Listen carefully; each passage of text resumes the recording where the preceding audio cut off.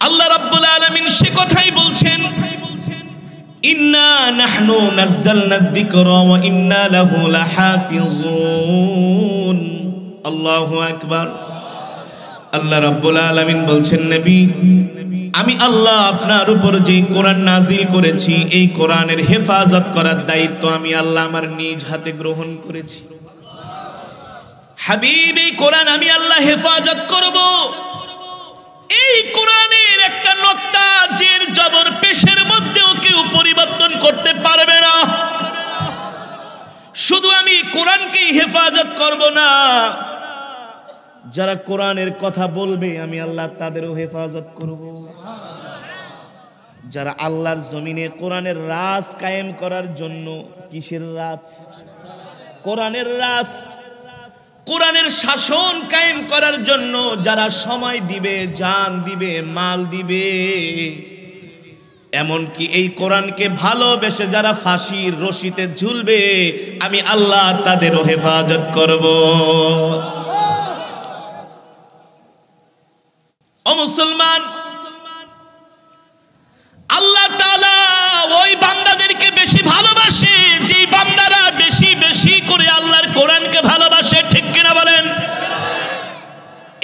আপনারা কোরআনের মজমায় আসছেন, মাহফিলের শেষে আপনাদেরকে এক প্যাকেট বিরিয়ানিও দেওয়া হবে না, তোবারকও দেওয়া হবে না, পাঁচশো করে টাকাও দেওয়া হবে না। আপনারা দূর দূরান্ত থেকে আসছেন একমাত্র আল্লাহর কোরআনের জন্য। আপনারা ঠকেন নাই ঠকেন নাই। ও যুবক মুসলমান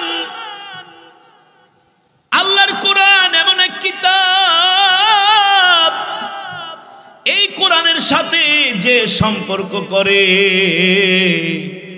আল্লাহ তাকে দুনিয়াতেও দামি বানায়, আখেরাতেও দামি বানায় দেয়। ঠিক কিনা বলেন? একই কাঠ দিয়া সোফা বানো হ- বানানো হয়, একই কাঠ দিয়া রেহাল বানানো হয়। ঠিক কিনা বলেন?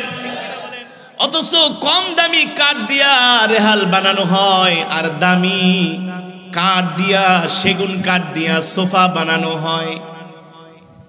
এই দামি সেগুন কাঠে যদি কারও পা লাগে, সালাম করে না, কিন্তু কম দামি কাঠ দিয়া রেহাল বানাইছে, ওই রেয়ালের উপরে শুধু কোরআন শরীফটা রাখে। এই কারণে ওই অল্প দামের কাঠটাও অনেক দামি হয়ে গেছে। একটু পা লাগলে মনে হয় কলিজাটা ছিঁড়ে যায়। কথা বলেন।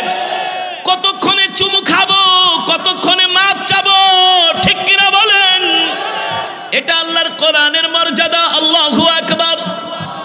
সেই রব্বে করিম আমার নবীর উপরে কোরআন নাজিল করলেন আর বললেন, হাবিব, ইয়া আইয়ুহার রাসূল, বাল্লিগ মা উনজিলা ইলাইকা মির রাব্বিক, ওয়া ইন লাম তাফআল ফামা বাল্লাগতা রিসালাতা।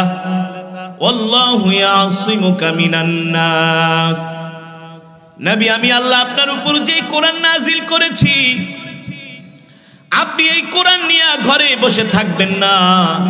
এই কোরআন দিয়ে আপনি মক্কার কাফেরদেরকে দাওয়াত দেন। আল্লাহু আকবার। আল্লাহ তাআলার নির্দেশ পায়া আমার নবী ঘরের মধ্যে কোরআন নিয়ে বসে থাকেন নাই। এই কোরআনের দাওয়াত দেওয়ার জন্য আল্লাহর নবী মক্কার ধারে ধারে, ঘরে ঘরে কাফেরদের কাছে বারবার গিয়েছেন, ঠিক কিনা বলেন? আল্লাহর নবী কোরআনের কথা বলেছেন, মক্কার কাফেরেরা আল্লাহর নবীর বিরুদ্ধে ষড়যন্ত্র করেছে, চক্রান্ত করেছে। আমার নবীকে ঘর থেকে বের বের হতে দেয় না, নবীকে অবরোধ করে রেখেছে। নবীজি রাস্তা দিয়ে হাঁটলে মক্কার কাফেরেরা পথের মধ্যে কাটা দিয়া রাখে। আমার নবী নামাজ পড়তে যায়, মক্কার কাফেরেরা উটের নারী বুড়ি আমার শরীর, আমার নবীর শরীর মোবারকের উপরে চাপায় দেয়। আমার নবী নামাজে দাঁড়ায়, মক্কার কাফেরেরা পিছন থেকে এসে আমার নবীর গলার মধ্যে জোরে সজোরে আঘাত করে। আমার নবী রাস্তা দিয়া হেঁটে যায়, মক্কার কাফেরেরা থুতু মারে। নবী রাস্তা দিয়ে হেঁটে যায়। মক্কার কাফেরেরা আমার নবীকে মিথ্যাবাদী বলে। বলেন, নাউজুবিল্লাহ, এত ষড়যন্ত্র চক্রান্ত করেও মক্কার কাফেরেরা কোরআনের দাওয়াত বন্ধ করতে পারে নাই। যদি কোরআনের দাওয়াত বন্ধ করতে পারতো, তাহলে আজ পৃথিবীতে কোরআন থাকতো না। ঠিক কিনা বলে কোরআন ছিল, কোরআন আছে, কোরআন থাকবে। ইসলাম ছিল, ইসলাম আছে, ইসলাম থাকবে। যারা ইসলামের বিরুদ্ধে হাত তুলবে, আল্লাহ আবু জেহেলের মতো ওদেরকে ধ্বংস করে দিবে। ঠিক না? ফেরাউন টিকে আছে? নমরুদ, সাদ্দাম, হামান, কারুন। নাই। আবু জেহেলরা এত ষড়যন্ত্র করেছে কোরআনের বিরুদ্ধে, নবীর বিরুদ্ধে। يريدون أن يطفئوا نور الله بأفواههم والله متم نوره ولو كره الكافرون আমার নবী কোরআনের দাওয়াত দেয় মক্কার কাফেরেরা কোরআনের দাওয়াত পছন্দ করে না রব ডাক দিয়া বলে হাবিব আপনি কষ্ট পাবেন না আপনি মন খারাপ করবেন না আপনি ধৈর্য ধরেন মক্কার কাফেরদের কাছে কোরআনের দাওয়াত পছন্দ হয় না পছন্দ না হলেও তাতে কিছু যায় আসে না। মক্কার কাফেরা কোরআনের দাবাতকে বন্ধ করতে পারবে না, কোরআনের আলোকে বন্ধ করতে পারবে না। আমি আল্লাহ আমার জমিনে আমার কোরআনকে প্রতিষ্ঠিত করবই করব। ইদা জা আনাসুল্লাহি ওয়াল ফাতহ ওয়া রাআইতান নাস ফি দীনিল্লাহি আফওয়াজা। আল্লাহ তাআলা তার হাবিবকে ডাক দিয়া বলে, হাবিব, মন খারাপ করবেন না। আপনি মক্কার কাফেরদেরকে কালেমার দাওয়াত দেন, কোরআনের দাওয়াত দেন। তারা কালেমার দাওয়াত, কোরআনের দাওয়াত গ্রহণ করে না। আপনি এই অবস্থা দেখা মন খারাপ করবেন না। দেখবেন আর কিছুদিন পরে মক্কার কাফেরেরা দলে দলে দলে দলে তারা কালেমা পরে মুসলমান হয়ে যাবে। আজও পর্যন্ত এই কোরআন শুনে কাফেরেরা মুসলমান হচ্ছে। ঠিক কিনা বলেন? আমেরিকার একজন শিষ্য পাদ্রী। শিষ্য পাদ্রী বোঝেন তো? আমেরিকার একজন শিষ্য ধর্মযাজক। মানে আমাদেরকে আপনারা মাওলানা বলেন নাকি? আলেম বলেন, যাই বলেন। বাংলাদেশের শিষ্য আলেম আছে না? হ্যাঁ? বাংলাদেশের যারা শিষ্য আলেম, তাদের মধ্য থেকে যদি কেউ একজন অন্য ধর্ম গ্রহণ করে তাইলে কি আমাদের মান সম্মান থাকে নাকি? থাকে? যদি মনে করেন হিন্দু ধর্ম, খ্রিস্টান ধর্ম গ্রহণ করল বাংলাদেশের কোনো শিষ্য আলেম, আমাদের মান সম্মান ধুলায় মিশে যাবে। অমুসলিমরা আমাদেরকে টিটকারি করবে। ঠিক না? আমেরিকার একজন শিষ্য পাদ্রী, ধর্ম যাজক, তার নাম হলো ফাদার হিলারিয়ন হ্যাগি ফাদার? আসসকে, ওরে কাগু হেতে নাম এই ফাদার হিলারিয়ন হ্যাগি। তাই কি আবু জেহেল কইতাম হেতে রে? নাম হচ্ছে ফাদার হিলারিয়ন হ্যাগি। খ্রিস্টানদের একজন ধর্মযাজক। গত এক সপ্তাহ আগে কালেমা পরে মুসলমান হয়ে গেছে। এ মুসলমান এখনও বুঝলা না, আল্লাহ কত বড় নিয়ামত দিয়ে আমাদেরকে দুনিয়াতে পাঠাইছে। কত সুন্দর কোরআন আমাদেরকে দিছে। এই যে এক সপ্তাহ পরে রমজান মাস আসতেছে, আল্লাহ আকবার। কত সুন্দর আমেজ ঈদের আমেজ প্রতিটা দিন, প্রতিটা মুহূর্ত, ঠিক কিনা বলেন? আমরা ভোর রাতে সেহেরি খাই, একসাথে নামাজ পড়ি, একজনের সাথে আর একজনের দেখা হয়। কত ভালো লাগে না? একসাথে ইফতারি করি, আল্লাহ আকবার। আহ! প্রতিটা ঘরে ঘরে কোরআনের তেলাওয়াত, প্রতিটা মসজিদে মসজিদে কোরআনের তেলাওয়াত। রাস্তায় রাস্তায় কোরআনের তেলাওয়াত, আল্লাহু আকবার। মক্কাতুল মুকাররমায় বাইতুল্লাহ খতমে তারাবি হয়। এই দৃশ্য দেখলে মনে হয় কোরআন নাজিল হইতেছে। আল্লাহর বান্দারা কোরআন শুনে অজর ধারায় কাঁদে। আল্লাহু মদিনা শরীফে গেলাম। আল্লাহর বান্দারা কোরআন তেলাওয়াত, আল্লাহু আকবার 24 আওয়ার্স, এক সেকেন্ডের জন্য কোরআন তেলাওয়াত বন্ধ নাই। মদিনাতুল মুনাওয়ারায় হাজী সাহেবরা বৈশা ইফতার করে দেখলে মনে হয় জান্নাতের মধ্যে আছি। ঠিক কিনা বলেন? এমন ধর্ম তুমি কোথায় পাইবা দোস্ত? সব ধর্মের কিতাবের মধ্যে ভেজাল ঢুকে গেছে, কিন্তু আল্লাহর কোরআনের একটা নক্তা জের জবরের মধ্যে কেউ পরিবর্তন করতে পারে নাই, পারবেও না। পারবে? পারবে না, ঠিক কিনা বলেন?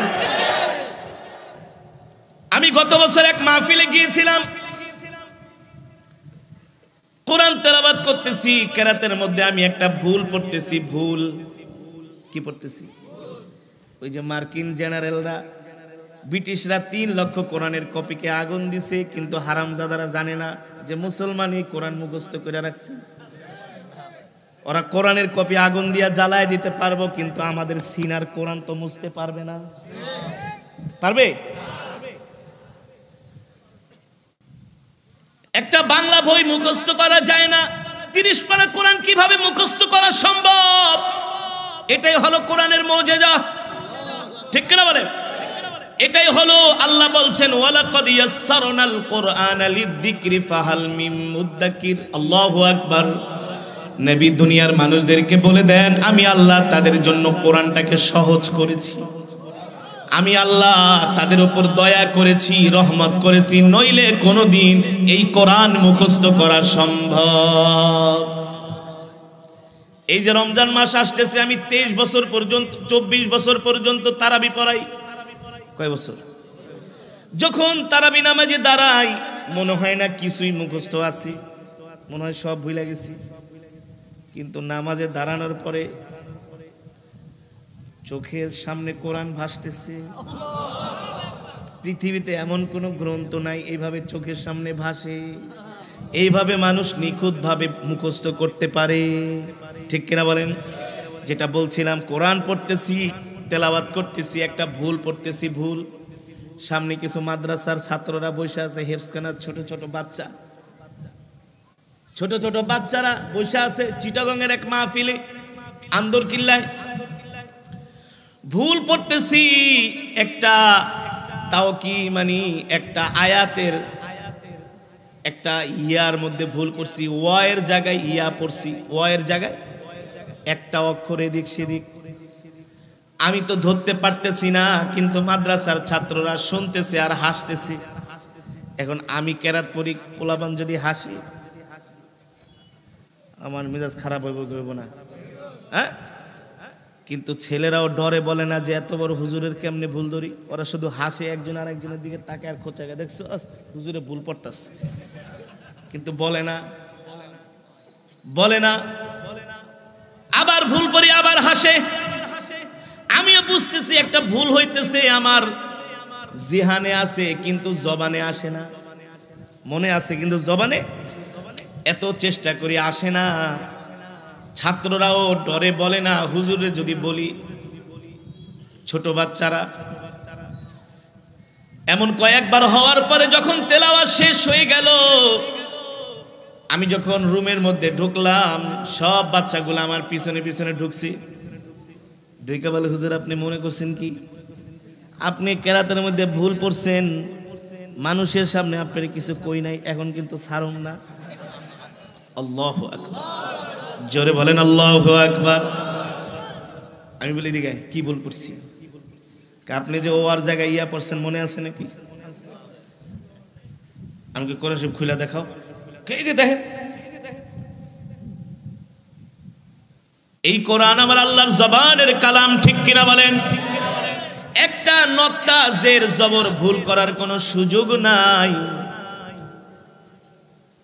আর এই কোরআন নিয়ে কেউ গর্ব করতে পারবে না, অহংকার করতে পারবে না, পৃথিবীর এমন কোনো হাফেজ নাই বলতে পারবে, আমি এই কোরআন নির্ভুল শোনাবো। পারবে? পৃথিবীর কোনো হাফেজ বলতে পারবে না, কেউ না। মক্কা মদিনার হাফেজ বলেন, পৃথিবীর যে কোনো জায়গার একজন হাফেজ কোরআনকে বলেন, বুকে হাত দিয়া বলতে পারবে না, সে কোরআন নির্ভুল শোনাবে। আরে কীভাবে পারবে? এ তো আমার রবের জবানের কালাম। আমার রব আমাদের তৌফিক দিয়েছেন, রহমত করেছেন, দয়া করেছেন। এই কারণে আমরা কোরআন মুখস্থ করতে পেরেছি। এইটা নিয়ে অহংকার করা যাবে না, ঠিক কিনা বলেন? অহংকার হলো আল্লাহর চাদর আল কিবরিয়া উরিদই যে অহংকার করে, সে আল্লাহর চাদর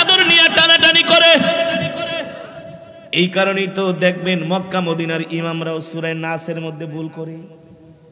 কুল আউযু বিরাব্বিন নাস, মালিকিন নাস, আর বলতে পারে না। সূরা ফাতিহার মধ্যে ভুল করে, আর বলতে পারে না। এটাই কোরআনের মুজিজা। আল্লাহ বলে, বান্দারে, তোদের উপর আমি দয়া করছি, দেখা তোরা আমার কোরআনটা মুখস্থ করতে পারছস। ঠিক কিনা বলেন? আমি আল্লাহ দয়া না করলে তোরা এই কোরআন মুখস্থ করতে পারতি। সম্ভব? এই কারণে মুসলমান আল্লাহর বান্দারা, আল্লাহর পয়গম্বর হাবিব কিবরিয়া রহমাতুল্লিল আলামিন কে আল্লাহ কোরআন দিয়া মক্কার জমিনে পাঠাইলেন। আল্লাহ নবী কোরআন তেলাওয়াত করে, মক্কার কাফেররা কোরআনের বিরোধিতা করে, কিন্তু তা ওই কাফেরদের সন্তানরাই আবার গোপনে গোপনে লুকিয়ে লুকিয়ে আল্লাহ নবীর কোরআন তেলাওয়াত শোনে। তাদের মধ্য থেকে একজন, তার নাম হলো মুসা বিবনে ওমায়ের আল্লাহ নবী কোরআন পরে মুসা বিবনে ওমায়ের দূর থেকে দাঁড়িয়ে দাঁড়িয়ে নবীজির তেলাওয়াত শ্রবণ করে। মুসা বিবনে ওমায়ের দেখতে এত সুন্দর সুদর্শন, মক্কার সম্ভ্রান্ত পরিবারের একজন সন্তান। আল্লাহ নবী মুসা বিন ওমায়েরকে দেখা ডাক দিলেন, তাল, ইয়া শাবাব, এ যুবক এদিকে আসো।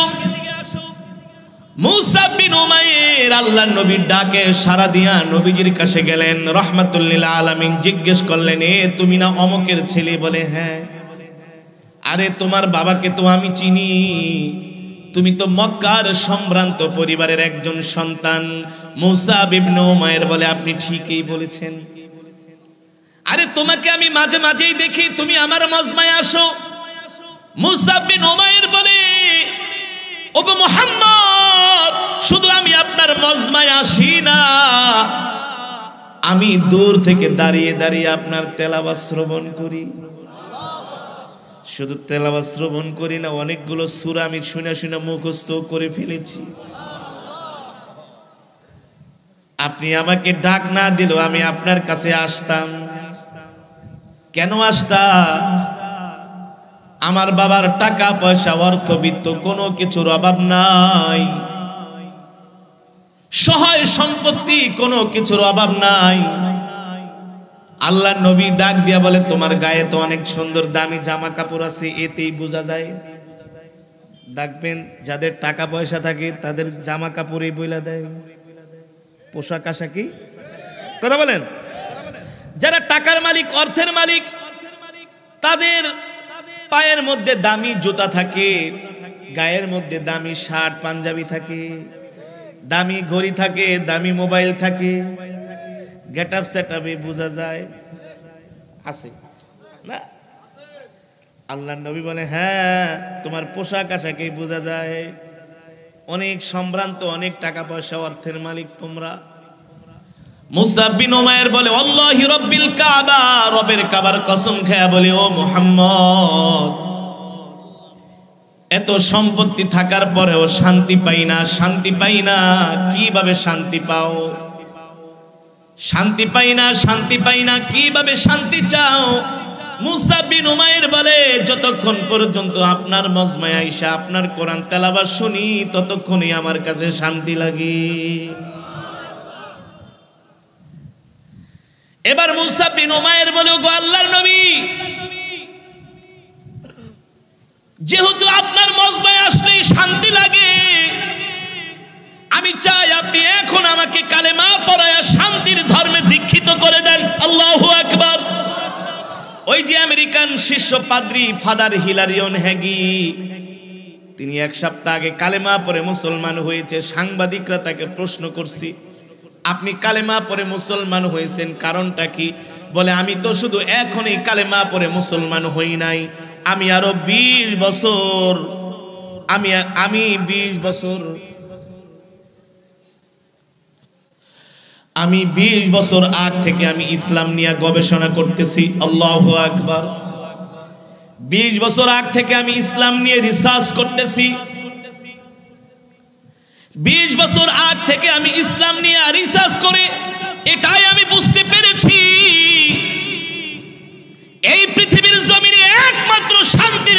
হলো ইসলাম, আল্লাহ একবার আমি এই পৃথিবীর জমিন অনেক সুর শুনেছি, কিন্তু কোরআনের সুরের মতো এত হৃদয় স্পর্শী সুর আমি আজ পর্যন্ত কোনোদিন শুনি নাই। জোরে বলেন, আল্লাহ একবার সেই আমেরিকার শিষ্য পাদ্রী ফাদার হিলারিয়ন হ্যাগি কালেমা পরে মুসলমান হয়ে গেছে, সারা পৃথিবীতে তোলপার পড়ে গেছে তোলপার শুরু হয়ে গেছে, খ্রিস্টানদের মধ্যে তোলপার শুরু হয়ে গেছে। দেখছ, আমাদের শিষ্য পাদ্রি কালেমা পরে মুসলমান হয়ে গেছে। আরে কেন হবে না, কেন হবে না? একমাত্র ইসলামই হলো শান্তির ধর্ম। মুক্তির ধর্ম, মানবতার ধর্মের নাম হলো ইসলাম। ঠিক কিনা বলেন? মানবতার ধর্মের নাম ইসলাম। ঠিক আল্লাহর নবী মুসা বিন ওমায়েরকে ডাক দিয়ে বলে মুসা, আমি তোমাকে কালেমা পড়ায় মুসলমান বানায় দিব। কিন্তু তুমি কি জানো মুসা, তুমি কালেমা পরে মুসলমান হওয়ার সাথে সাথে মক্কার কাফেরেরা তোমার উপর নির্যাতন শুরু করে দিবে, জুলুম শুরু করে দিবে। তোমার গায়ে দামি জামা থাকবে না। তোমার এখন যে সুন্দর স্বাস্থ্য ওই স্বাস্থ্য থাকবে না। তোমার পরিবার পরিজন তোমার উপর অকাথ্য নির্যাতন করবে। যদি তুমি কালেমা পরে মুসলমান হয়ে যাও। মুসা বিবনে ওমায়ের বলে ওগো আল্লাহর নবী শত নির্যাতন জুলুম যদি সহ্য করা পরে মুসলমান হব। আমাকে কালেমা পরে মুসলমান বানায় দেন, আল্লাহু আকবার। আল্লাহ নবী তার সাহাবী মুসা বিবনে উমায়েরকে নবীজি পবিত্র জবান দিয়া তাকে কালেমা পরে মুসলমান বানায় দিলেন, আল্লাহু আকবার। এবার মুসা ইবনে উমায়ের কালেমা গ্রহণ করে, কালেমা পরে ইমান আনার পরে এবার মুসা ইবনে উমায়ের দাঁড়ায় গেছে। আল্লাহ নবীকে বলে, ওগো নবীজি, আপনি আমার জন্য দোয়া করে দেন। আমি যে ইসলাম ধর্ম গ্রহণ করেছি, এটা আমি আর গোপন রাখব না, আমি এটা প্রকাশ করে দিব। আমি আমার গোত্রের কাছে যা প্রকাশ করে দিব, আমি সত্য ধর্ম, মানবতার ধর্ম, মুক্তির ধর্ম, ইসলাম আমি গ্রহণ করেছি। আমি আর মূর্তি পূজার মধ্যে নাই, আমি আমার গোত্রকে স্পষ্ট করে জানিয়ে দিব, আজকের পর থেকে আমি আর লাত মানাতের পূজা করব না, উজ্জার পূজা করব না। আজ থেকে আমি এক আল্লাহর কদমে সেজদা দিব। আল্লাহ আকবার। অগো নবীজি, আপনি আমাকে দোয়া করে দেন, আমি বাড়িতে যেয়া আমার ইসলাম ধর্মের কাহিনী, ইসলাম ধর্মের এই কথা আমি সরাসরি মানুষের সামনে প্রকাশ করব। সাহাবিরা বললেন মুসআব ইসবির ধৈর্য ধরো, ঠান্ডা হও। আস্তে আস্তে করে তুমি ইসলাম ধর্ম গ্রহণ করেছ, এটা প্রচার করো। এখনোই যদি প্রচার করো তাহলে তোমার উপরে মক্কার কাফেরেরা নির্যাতন করবে জুলুম করবে মুসা বিবনে ওমায়ের একটু আগেও ছিল বেঈমান ঈমান হারা এখন হয়ে গেছে ঈমানওয়ালা আল্লাহু আকবার وإذا تليت عليهم آياته زادتهم إيمانا কোরআনের তেলাবাত শুনলে ঈমান বেড়ে যায় ঠিক কিনা বলেন এর উজ্জ্বল দৃষ্টান্ত হলো রসুলের সাহাবী মুসা ইবনে উমায়ের তিনি দাঁড়ায় গেলেন।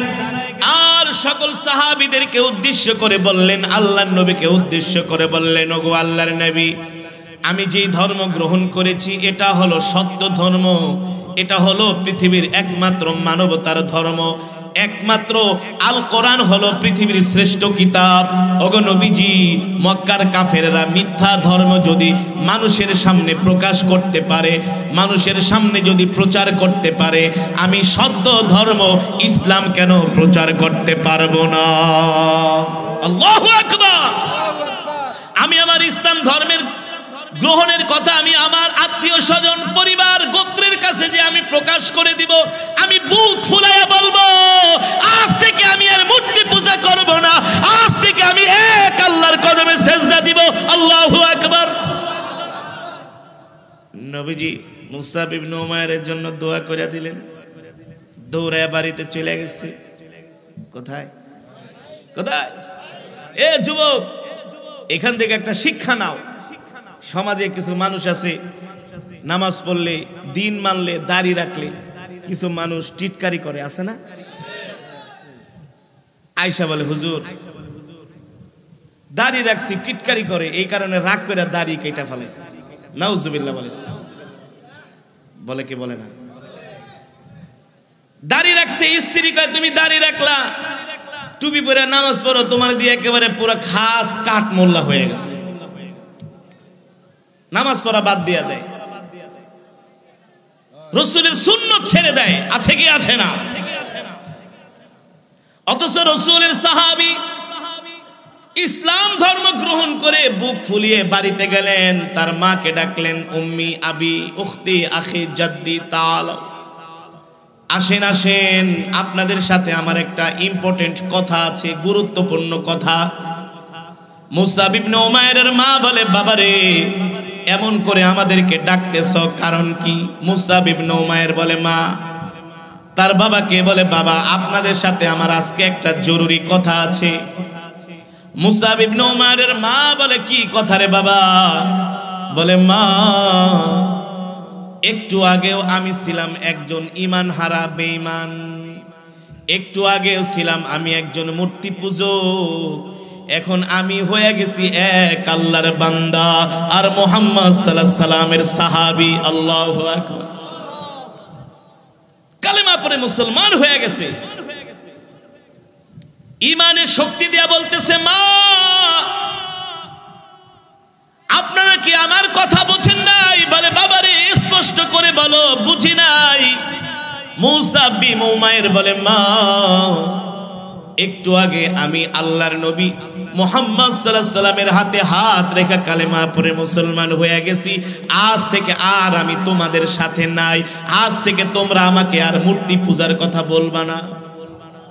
আমি এক আল্লাহর কদমে সেজদা দিব। আল্লাহ একবার এই কথা শোনার পরে মুসাব্বিন ওমায়ের মা মুসাব্বিন ওমায়ের বাবা এত রাগ করলেন, এত কষ্ট পাইলেন। মুসাবিন ওমায়ের মা বলে তুমি কালেমা পরে মুসলমান হয়ে গেলা। একবারও কি মায়ের কথা চিন্তা করলা না রে মা? বাবা, আমি তোমার মা। দশ মাস, দশ দিন আমি তোমাকে গর্বে ধারণ করেছি। তুমি কালেমা পরে মুসলমান হয়ে গেলা। একবারও কি চিন্তা করলা না? আমার জন্য কি তোমার মায়া লাগে না? মুসাবিন ওমায়ের ডাক দিয়ে বলে, মা আপনি আমাকে দশ মাস, দশ দিন গর্বে ধারণ করেছেন, লালন করেছেন, আমি স্বীকার করি। মা, আপনাকে আমি মোহাব্বত করি, ভালোবাসি। কিন্তু আল্লাহর কসম করে বলি, আল্লাহ আল্লাহ রসুলের চাইতে আমি আপনাকে বেশি ভালোবাসি না। একেই বলে ইমান একেই বলে কি? একেই বলে ইমান একেই বলে ইসলাম। ঠিক কিনা বলেন? এই কথা শোনার পরে মুসা বিন ওমায়ের মা অঝোর ধারায় কাঁদতেছেন। এবার মুসা বিন ওমায়ের বাবা মনে মনে ভাবে, মনে হয় তার মার কথা ফিরায় দিছে, আমি একটু সন্তানটাকে বুঝাই।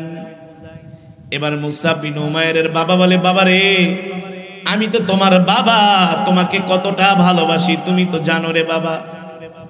তোমাকে কোলে পিঠে করে আমি মানুষ করেছি। তুমি যে মোহাম্মদের ধর্ম গ্রহণ করছ, বাবা, একবার একটু চিন্তা করো। দেখো ওই ধর্মটা ত্যাগ করা যায় কিনা। তুমি আমাদের কাছে ফিরে আসো। আমি তোমার বাবা, আমার জন্য কি তোমার মায়া লাগে না? মুসা বিন মায়ের বলে, বাবা, আপনি আমাকে জন্ম দিয়েছেন, আপনি আমার পিতা। আপনাকে অনেক ভালোবাসি।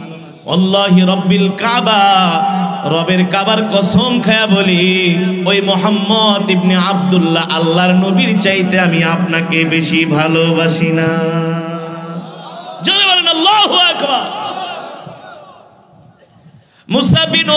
বাবা ডাক দিয়া বলে, বাবা রে, মোহাম্মদের জন্য পাগল হলি কি পালি মোহাম্মদের মধ্যে বলে, সব পাইছি। কি পাইছোস? বলে, সব পাইছি, শুনবা। মুসাব্বিন ওমায়ের বাবা বলে, শোনাও, এবার আল্লাহর পয়গম্বরের সাহাবি তার মা বাবা দুইজনকে, আত্মীয় স্বজনকে কোরআন তেলাওয়াত করে শোনাইলেন। এই তেলাওয়াত শুনা মুসাব্বিন ওমায়ের বাবা জিব্বায় কামড় দিছে বলে, বাবা, আর শুনাইস না। শুধু তুই মুসলমান হস না, এই কোরআন শুনলে আরও যা আছে সব মুসলমান হয়ে যাইব। আল্লাহু আকবার। বাবা, আর শোনানো দরকার নাই, চুপ থাক। মুসা বিন বাবা এই কথা বইলা দৌড়াইয়া ঘরে গেলেন, ঘরে যায় দুইটা বড় বড় শিকল আনলেন। যুব আল্লাহ নবীর সাহাবিরা দিনের জন্য, ইসলামের জন্য কত কষ্ট করছে। অকাথ্য, নির্যাতন, জুলুম সহ্য করছে, তারপরে ইসলাম ছেড়ে দেয় না আর আমরা এত সহজে ইসলাম পায়াও ইসলামটাকে আমরা মানি না, ঠিক কিনা বলি মুসা বিন ওমাইরের বাবা ঘর থেকে দুইটা বড় বড় শিকল এনে একটা শিকল দিয়া দুই হাত বাঁধলেন আর একটা শিকল দিয়া দুই পা বাঁধলেন। এবার ঘরের খুঁটির সাথে তালা মেরে দিছি।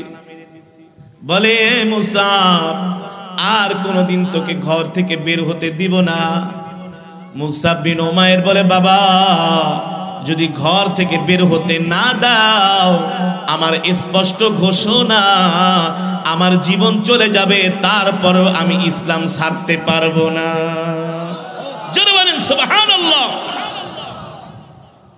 গত গত দুই বছর আগে বাংলাদেশের একটা জেলা, সুনামগঞ্জ। নাম কি? একেবারে ভারতের বর্ডারের কাছে যেখানে পাথর উঠায়, পাথর উত্তোলন হয়। সুনামগঞ্জের তাহেরপুর থানা, বাদাঘাট একটা বাজার। একেবারে নদীর সাথে যেখান থেকে পাথর উঠায়। গত দুই বছর আগে ওই এলাকায় আমি একটা মাহফিলে গিয়েছিলাম। কোরআন তেলাবাদ করতেছি, এশারের নামাজের পরে। দুইটা প্রোগ্রাম একটা শেষ করে আরেকটা যেতে হবে।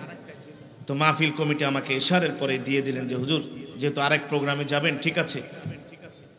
তো এশারের পরে আমি তেলাবাত শুরু করলাম। তেলাবাতের মাঝামাঝি একটা যুবক লাভ দিয়া স্টেজে চলে আসছে। একটা যুবক লাভ দিয়ে স্টেজে চলে আসছে। তো স্টেজে আসার পরে ওটা একটা বাজারের মাহফিল হাজার হাজার মানুষ একজন আরেকজনের দিকে তাকায় বলে "এই, ওই ছেলেটা স্টেজে কেন গেল? তো একজন আরেকজনের দিকে তাকায় আমি বুঝি নাই ব্যাপারটা কি? যখন তেলাবাদ শেষ হয়ে গেল যুবক এসে আমার একেবারে পায়ের কাছে বসে আছে। সাধারণত মুসলমানের সন্তান সন্তানরা মাহফিলে গেলে একটা টুপি পরে পরে না? একটা পাঞ্জাবি পরে। একটু গেট আপ সেট আপ আলাদা থাকে, কিন্তু ওর দিকে তাকাইলে মনে হয় না, মাথায় টুপি নাই, পাঞ্জাবি নাই। চেহারাও কেমন যেন মিলাইতে পারতেছে না যে এই যুবকটা এখানে কি করে, আর সবাই অবাক হয়ে গেছে। তো আমার তেলাওয়া শেষ হয়ে গেল।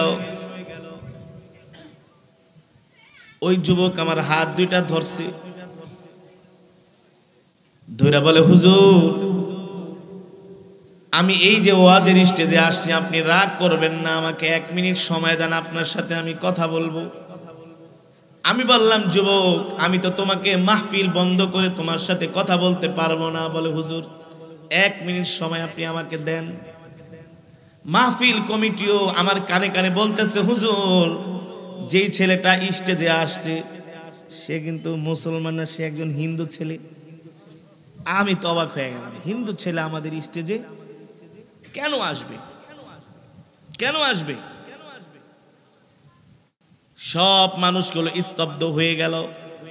আমি জিজ্ঞেস করলাম, বলো তুমি আমার সাথে কি বলবা? বলে, হুজুর, আমি এই যে বাদাঘাট বাজারে একটা দোকানে কাজ করি, সবাই আমাকে চিনে। আমি জিজ্ঞেস করলাম, চিনেননি? কা হুজুর, তাকে আমরা সবাই চিনি। ছেলেটার নাম হলো কার্তিক চন্দ্রশীল। কেন এসছো যুবক? বলে, হুজুর, আমি গোপনে গোপনে মোবাইলে লুকিয়ে লুকিয়ে আপনার কোরআন তেলাওয়াত শুনি, অনেক আলেমদের বয়ান শুনি। আমি যখন পোস্টারে দেখলাম আপনি আমাদের এলাকায় আসবেন, আমি মনে মনে সিদ্ধান্ত নিছি আপনার হাতে হাত রেখা কালেমা পরে মুসলমান হয়ে যাব। শুধু এখানেই না, বাংলাদেশের গোপালগঞ্জ জেলা প্রধানমন্ত্রীর বাড়ির পাশে, টঙ্গিপাড়ায়, মুজাহিদে আজম আল্লামা শামসুল হক ফরিদপুরি রহমতুল্লাহ আলাই নাম শুনছেন? যাকে বলে সদর সাহ মানে বড় হুজুর, আল্লাহ আকবার। অনেক বড় জলিল কদর বুজুর্গ ওই মাহফিলে দাবাত দিলেন, এশারের পরে কোরআন তেলাওয়াত শুরু করলাম। শুধু মুসলমানরা, শত শত হিন্দুরা আইসা দাঁড়ায় দাঁড়ায় কোরআন শুনতেছে। টানা ছয় বছর আমি ওই মাহফিলে গিয়েছি। ওই এলাকার হিন্দু ভাইয়েরাও বলে, যদি ওই হুজুর আইসা কোরআন পড়ে, তাহলে আমরা মাহফিলে টাকা দিব, চান্দা দিব। কোরআনের মৌজেজা, আল্লাহ জোরে বলেন, আল্লাহ একবার পরে আমি ছেলেকে জিজ্ঞেস করলাম, তুমি কি চাও? বলে, হুজুর, আপনি আমাকে এখন মুসলমান বানায় দিবেন। আমি বলি, তোমাকে যদি আমি এখন মুসলমান বানাই তাহলে আগামীকাল একাত্তর ডিবিসি টেলিভিশন আমার বিরুদ্ধে রিপোর্ট করব যে হুজুর জোর করে মুসলমান বানাইছে। ঠিক বলেন? কারণ ওরা তো সব সময় আমাদের বিরুদ্ধে লেগে থাকে। হুজুরদের একটু দোষ পাইলেই হইছে। ঠিক না? হুজুরদের একটু দোষ পাইলেই হইছে। কারণ আছে, সাদা জামায় দাগ লাগলে দেখা যায়। আর এই জামায় যত জোর লাগান দেখা যাবে না। দেখা যাবে? সাদা জামায় দাগ লাগলে দেখা যায়। কালো জামায়, হলুদ জামায় দাগ লাগলে দেখা এ কারণে হুজুররা একটু তিল হইলে এটা তাল বানায় ফেলায়। ঠিক কিনা বলে? লাভ নাই। লাভ নাই। দুনিয়ার বেশি দিন নাই। এই পৃথিবী শুরুতেও শাসন করেছে মোল্লারা, শেষেও মোল্লারা। ঠিক কিনা বলেন ইমাম মাহাদি আসবে। ইনশাল্লাহ এই জমিনে প্রতিটি ইঞ্চি ইঞ্চি মাটিতে কোরআনের রাজ কায়েম হবে। কেউ ফিরাতে পারবে না। ইনশা বিশ্বাস হয় না? আল্লাহ পরে আমি ছেলেকে বললাম, কি চাও? বলে, হুজুর, আমাকে কালেমা পড়ায় মুসলমান বানায় দেন। তার নাম রেখে দিলাম, নুরুল ইসলাম।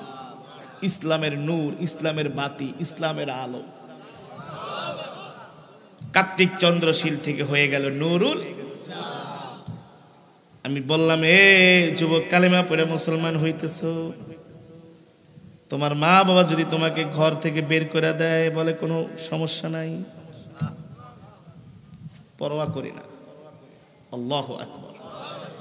ঠিক রসুলের সাহাবি মুসা বিবনে উমাইর তাআলা আনহু তার মা তার বাবাকে ডাক দিয়া বলে আবি উম্মি। আমাকে ঘরের মধ্যে শিকল দিয়ে আটকায় রাখেন, কোনো দুঃখ নাই, কোনো কষ্ট নাই। মরে যাব, তারপরেও ইসলাম ছাড়তে পারব না। একদিন, দুই দিন, তিন দিন নারে যুবক এক বছর পর্যন্ত তাকে ঘরের মধ্যে শিকল দিয়ে আটকিয়ে রেখেছেন। এক বছর। আল্লাহ রসুলের সাহাবি না খেতে খেতে শুকিয়ে কাঠ হয়ে গেছেন। এক বছর পরে তার মা খাবার দেয়, অল্প অল্প খায়, বেশি বেশি খায় না, যাতে করে কোনো রকম বাঁচতে পারে। কোনোদিন সারা পাইলে দেরি করবে না, আল্লাহ নবীর কাছে চলে যাবে। একদিন তার মা দেখতেছেন ছেলেটা ঠিক মতো খাওয়া দাওয়া করে না, শুকায় গেছে, দূর থেকে তাকায় তাকায় মা কানতেছে মায়ের মন তো সন্তান যতই অপরাধ করুক না কেন, যতই অন্যায় করুক না কেন, যতই কষ্ট দেখ না কেন, পৃথিবীর সবাই ভুলতে না পারলেও মা কিন্তু ভুলে যায়। মা ক্ষমা করে দেয়, ঠিক কিনা বলেন? সবাই প্রতিশোধ নেয়, মা কখনো প্রতিশোধ? দূর থেকে সন্তানের এই করুণ দশা দেখে মুসাব ইবনে উমাইরের মা দৌড়ায়া সন্তানের কাছে গেলেন। আর সন্তানকে বললেন বাবা রে এ বাবা, তুমি মোহাম্মদের জন্য এত পাগল হয়ে গেছো, আমার জন্য কি তোমার মায়া লাগে না? মুসা বিবনে উমাইর বলে, মা, তুমি আমার জন্মদাতি মা, আমার শিকলটা খুইলা দাও, আমি আল্লাহর নবীকে না দেখা থাকতে পারতেছি না। মুসাফিব নোমায়ের মা বলে, বাবা, তোমাকে যদি ছেড়ে দেই, তুমি কি করবা? কোন মিথ্যার আশ্রয় নেয় নাই। স্পষ্ট করে বলে দিছে, মা, হাতের বাদন হাতের শিকল খুলতে দেরি। আমি আল্লাহর নবীর কাছে দৌড়ায়া যাইতে দেরি নাই। মুসাফিন ওমায়ের মা মনে মনে ভাবে আহারে, কেন কেন শুধু শুধু ছেলেটাকে কষ্ট দিয়ে এভাবে মেরে ফেলব? তার চাইতে মোহাম্মদের কাছেই চলে যাক। এবার মা শিকল খুইলা দিলেন। মুসা বিবনে উমায়ের তার মার হাত ধইরা বলে, মা, তুমি ভালো থেকো, আমাকে দোয়া করে দাও। আমি আল্লাহর নবী মোহাম্মদ সাল্লাহ সাল্লামের কাছে চলে যাই, আল্লাহ আকবার। মুসা বিবনে উমায়ের মা ঘরের তার হাতের পায়ের শিকল খুলে দিল। সাহাবী আর দেরি করলেন না, দৌড়ে চলে গেলেন আল্লাহর নবীর দরবারে। এক বছর পরে এইদিকে নবীজিও পেরেশান, সাহাবী আসে না। আরে আমার নবী তো এমন নবী, সাহাবিদেরকে না দেখলে নবীজি এক মুহূর্ত থাকতে পারতেন না। আমার নবী এমন নবী, যেই নবী নিজের চাইতো উম্মতকে ভালোবাসছে। উম্মতকে ভালোবাসছে। আমাদের জন্য নবীজি দোয়া করছে, এখনও দোয়া করে আল্লাহ আকবার এই কারণে তো আল্লাহ কোরআনে বলছেন لقد جاءكم رسول من أنفسكم عزيز عليه ما عنتم حريص حريص عليكم بالمؤمنين رؤوف رحيم আমি তোমাদের মধ্য থেকে তোমাদের জন্য এমন একজন রসুল পাঠিয়েছি যেই রসুল যেই নবী কিনা তোমাদেরকে এত ভালোবাসে তোমরাও যদি কষ্ট পাও তোমার নবীও কষ্ট পায় এমন একজন নবী। আল্লাহ আকবার। মুসা বিন উমায়ের দৌড়ে আল্লাহ নবীর বাড়িতে চলে গেলেন।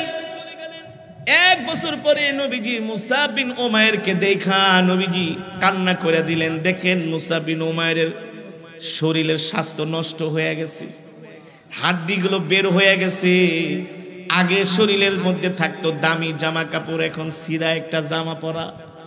আল্লাহ নবী ডাক দিয়া বললে মুসাব আমি না বলেছিলাম, তুমি ইসলাম ধর্ম গ্রহণ করলে তোমার উপরে অকাথ্য নির্যাতন হবে। তুমি সুখায়া কাঠ হয়ে যাবা, তোমার গায়ে এই দামি জামা থাকবে না। তোমাকে কাফেরেরা নির্যাতন করবে, জুলুম করবে, অত্যাচার করবে, ঘর থেকে বের করে দিবে, সম্পদ থেকে বঞ্চিত করবে। মুসাব্বিন ওমায়ের আল্লাহ নবীকে ডাক দিয়া বলে, ওগো আল্লাহর নবী মক্কার কাফেরেরা, আমার মা বাবা আত্মীয় স্বজনরা, আমার উপর যতই অত্যাচার, নির্যাতন করছে না কেন, আল্লাহর কসম করে বলি, আপনার চেহারা দেখার সাথে সাথে আমি সব কষ্ট ভুলে গিয়েছি। সব কষ্ট গিয়েছি আল্লাহু আকবার। নবীজি বললেন মুসাব তুমি যদি এখন মক্কায় থাকো, তোমার উপরে আরও অত্যাচার করবে। তুমি একটা কাজ করো, তুমি মক্কা থেকে মদিনায় চলে যাও। আমিও কিছুদিন পরে মদিনায় আসতেছি। মুসলমান, সাহাবি একবার প্রশ্ন করল না, নবীজি, এই মক্কা হলো আমার জন্মভূমি, এখান থেকে আমি চলে যাব। আমার কষ্ট হচ্ছে। একবারও বলে নাই। নবীজি নির্দেশ দিছে, সাথে সাথে মক্কা থেকে মদিনায় হিজরত করে চলে গেছে। এবার ওই যে নবীজির তেলাবাস শুনতে শুনতে সুরা মুখস্থ করছে, এই সুরা যায় এখন মদিনার মানুষদেরকে শিখাইতেছে। এখন কোরআনের শিক্ষক হয়ে গেছে। আল্লাহ একবার কোরআনের শিক্ষক হয়ে গেছে। নবীজি যখন মক্কা থেকে হিজরত করে মদিনায় গেলেন, যে দেখে শত শত মানুষ মুসাবিন ওমায়ের ভক্ত। বলে, তোমরা মুসাবের ভক্ত কারণ কি? বলে, তিনি হলেন আমাদের কোরআনের শিক্ষক। আল্লাহ জোরে বলেন, আল্লাহ আকবার।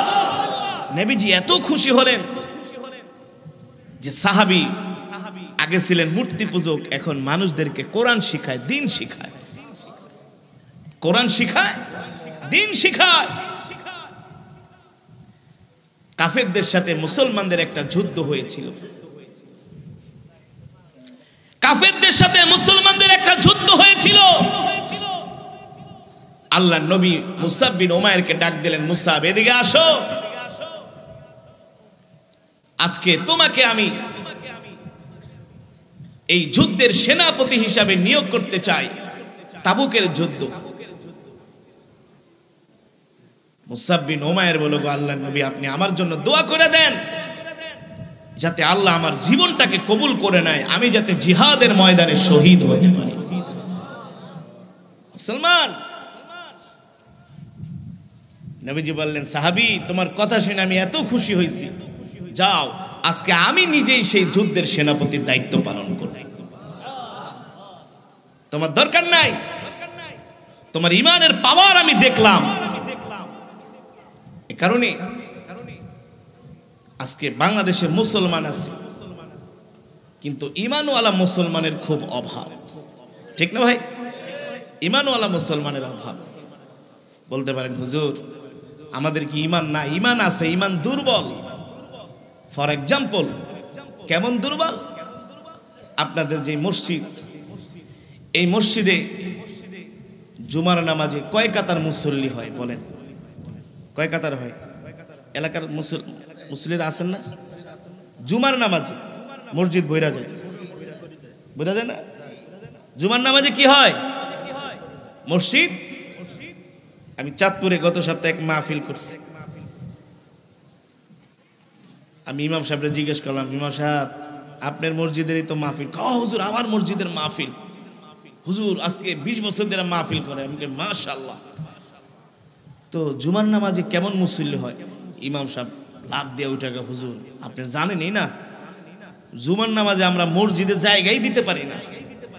বারান্দায়ও জায়গা হয় না, মাঠে ঘাটেও দাঁড়ায়। আমি বলি মাশাল্লাহ পাক্কা মুসল্লি, পাক্কা ইমান আলা মুসল্লি। তাই ফজরের নামাজে কয়জন মুসল্লি হয়? এখন আর হাতে কথা কয় নো, চুপ করে আছে কথা বলে না। আমি বলে, এই মিয়া, বলেন না কয়জন মুসল্লি হয়? এখন নিচের দিকে তাকায় হুজুর আন্নে আর এই কথা জিগায়েন না। আমি বলছি, কেন? বলে, হুজুর, আশি ঘরে ভাত খাই। কয় ঘরে? ভাত খাই বুঝুন তো? খাবার খায় মানে এক একজন, খাবার না এক একদিন? হুজুরকে হ্যাঁ। বলে, হুজুর, আশি ঘরে খাবার খাই। ফজরের নামাজে মুসল্লি আট জন হয় না।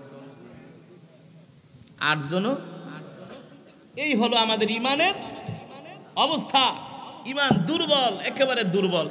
ইমান রে প্রালাইসিসে দূরে গেছে। আশি ঘরে ভাত খায়। আশি ঘর থেকে একজন করে জুমার নামাজে মুসল্লি সরি ফজরের নামাজে মুসল্লি হইলেও তো আশি জন মুসল্লি হইত। ঠিক কিনা বলেন? মসজিদটা ভরে যেত। বাংলাদেশ সব জায়গায় একই অবস্থা। এখন মুসল্লি হয়ে গেছে বাৎসরিক। ঠিক না? এই রমজান মাসে এলে কদিন নামাজ পড়ব? দাড়িটা রাখব? রমজানও শেষ, নামাজও শেষ, দাড়িও শেষ।